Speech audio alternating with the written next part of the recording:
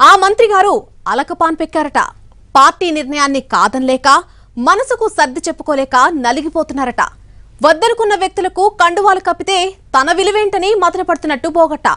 ఎన్నికల వేళ ఇంతగా కలవరపడుతున్నా ఆ అమాత్యుడెవరు? ఎందుకు ఈ పరిస్థితి వచ్చింది? ఇప్పుడు చూద్దాం. గ్రేటర్ విశాఖపీఠం లక్ష్యంగా వ్యూహాత్మకంగా రాజకీయ ఎత్తుగడలు వేస్తుంది వైసీపీ. టీడీపీని బలహీనపరచడమే లక్ష్యంగా వలసలకు గేట్లు ఎత్తేసింది. ఎమ్మెల్యే వాసుపల్లి గణేష్ కుమార్తో ప్రారంభమైన ఆపరేషన్ ఆకర్ష్ చోటామోటా నాయకుల వరకు కొనసాగుతోంది. రోజు వందల మందిని పార్టీలోకి ఆహ్వానించి కండువాలు కప్పేస్తుంది. ఈ ప్రయత్నంలో భాగంగానే అధిష్టానం తీసుకున్న నిర్ణయం మంత్రి అవంతి శ్రీనివాస్ మనసుకు బాధ కలిగించిందనే ప్రచారం జరుగుతోంది. అమాత్యుడు వైఖరి కూడా అదే విధంగా ఉండటంతో ఆయన అలకబూనారనే చర్చ మొదలయ్యింది. రాజకీయ వలసలు మొదలైనప్పటి నుంచి జిల్లా మంత్రి అవంతి శ్రీనివాస్ చాలా యాక్టివ్ రోల్ తీసుకుంటున్నారు. జాయినింగ్స్ విషయంలో హుషారుగా వ్యవహరిస్తున్నారు. ఈ తరుణంలోనే అవంతి శ్రీనివాస్కు షాక్ ఇచ్చే పరిణామం జరిగింది.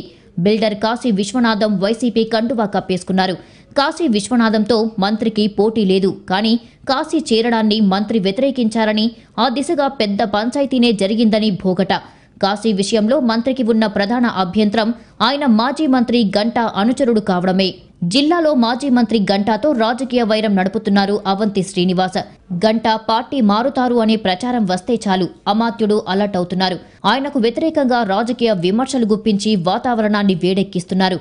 అవంతి చర్యలకు హైకమాండ్ మద్దతు కూడా లభించడంతో వైసీపీలో గంటా ప్రవేశం దాదాపు అసాధ్యమనే భావనే రాజకీయ వర్గాల్లో ఏర్పడింది. పార్టీలో అవంతి బలం పెరుగుతుందనే అంచనాలు ఉండగా ఇప్పుడు అనూహ్యమైన పరిస్థితులు ఏర్పడ్డాయని చర్చించుకుంటున్నాయి పార్టీ వర్గాలు.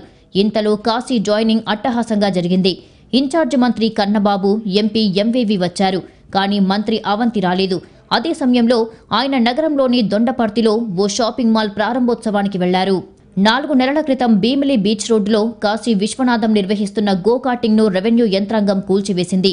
రాజకీయ కక్షలో భాగంగానే ఈ చర్యకు పాల్పడ్డారని అప్పట్లో టీడీపీ ఆరోపణలు చేసింది. ఇప్పుడు గంట ముఖ్య అనుచరుడైన కాశీ విశ్వనాథంను వైసీపీలో చేర్చుకోవడం సరైంది కాదని అవంతి వ్యతిరేకించినట్టు సమాచారం. కానీ ఆ అభ్యంతరాలేవి పార్టీ ఖాతరు చెయ్యలేదట. భారీ ర్యాలీగా వెళ్ళి విజయసాయిరెడ్డి సమక్షంలో కండువా కప్పేసుకున్నారు కాశీ విశ్వనాథం. అయితే మంత్రి గైరాజరు ప్రస్తావనకు వచ్చిందట. వ్యక్తుల అభిప్రాయం కంటే పార్టీ ప్రయోజనమే ముఖ్యమని స్పష్టత ఇచ్చినట్టు తెలుస్తుంది. ఆ తర్వాతే మంత్రి అవంతి ఇంటికి వెళ్ళి ఆశీర్వాదం తీసుకున్నారు కాశీ విశ్వనాథం. ఇక్కడితో ఈ ఎపిసోడ్ ముగిసినట్టేనని పార్టీ వర్గాలు భావిస్తున్నాయి. మరి మంత్రి గారి తదుపరి యాక్షన్ ఎలా ఉంటుందో చూడాలి.